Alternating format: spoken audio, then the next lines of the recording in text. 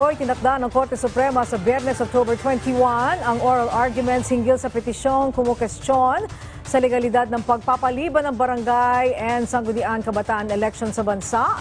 Sa inilabas na press briefer ng kataas-taasang hukuman, iginit nilang agad na tinalakay sa SC and Bank session kahapon ang naturang petisyon. Bago ang oral arguments, pinagsusumite na rin ng korte ang mga respondent ng kanilang komento ukol dito. Bago ito, una nang tiniyak ng Commission on Elections na nakahanda sila anuman ang mangyayari. Una po sa lahat, pwede po mag-issue ang ating Korte Suprema ng temporary restraining order or preliminary mandatory injunction. Kung sa ganon, pipigilin po ang pag-iimplementa ng Republic Act 1195 and therefore, talaga po ipapatupad hanggat hindi nalilib yung TRO na yan, ipapatupad namin yung Republic Act 11462 o yung December 5, 2022 elections. Pwede rin naman pong ang gawin ng Korte Suprema. In the meantime, hayaang umusan ang ating uh, 11 Republic Act 11935 at sa gayon, makapag-ahalalan talaga net zero po.